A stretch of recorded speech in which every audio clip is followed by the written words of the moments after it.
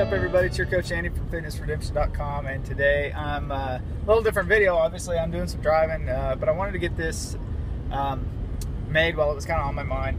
Uh, the other day, I was kind of asked by somebody. Um, you know, they were just kind of asking how how I deal with uh, frustrating people. Um, you know, just in life in general, really.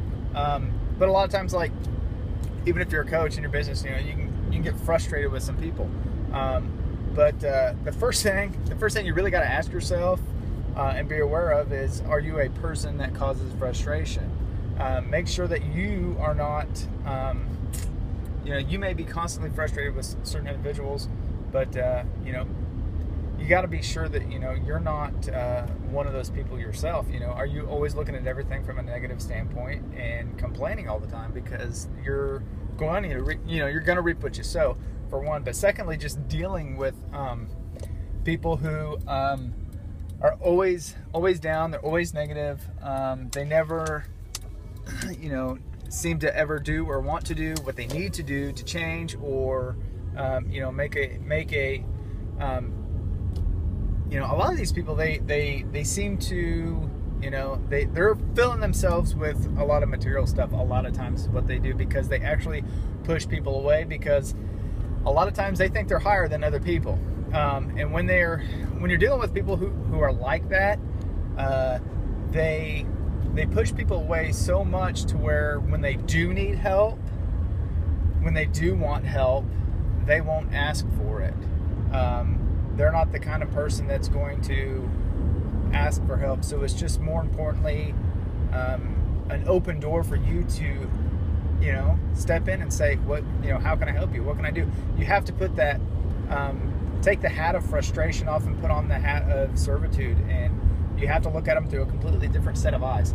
Um, and I, this sounds funny, but kind of what I, I've done this and I don't do it all the time, obviously, but I need to do it more myself. And that's just uh, love humanity. And, you know, and it, I kind of heard this in a sermon one time and, if if you ever you know when you visualize people when you're or when you're talking to people uh, you see people you know in the street in the, the grocery aisle whatever you know envision a sign above their head that says you know um, you know that they're hurting that they're in pain that you know they're dealing with something you have no clue about. Um, you know that person that comes in and into your office and it just seems to piss you off um, you may have no clue that they're dealing with, you know, a loss in their um, family, or that their two-year-old kept them up all night and they only got 20 minutes of sleep, or that they're, you know, it could be worse. They could be dealing with some kind of uh, violence within the home. You know, you you really don't know what that person's struggle is. Um, so if you look at that through a different set of eyes, knowing that you know even even I hurt. Even you know, I here I am trying to be a leader and a coach to other people and help other people all the time get better, grow, and do um, do more things and live more happy, healthy, full, you know, more fulfilling lives. You know, I still have pain. I still have struggles. I still have bad days. I still have frustrations.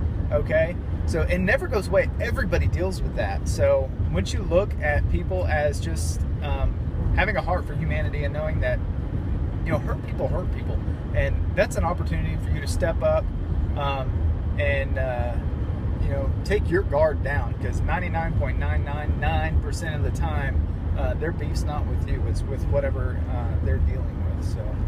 Um, I don't know. I hope uh, I hope you find this helpful. I just wanted to get this out today. I love you guys. Uh, stay safe, um, have fun, and we'll talk to you soon. Bye.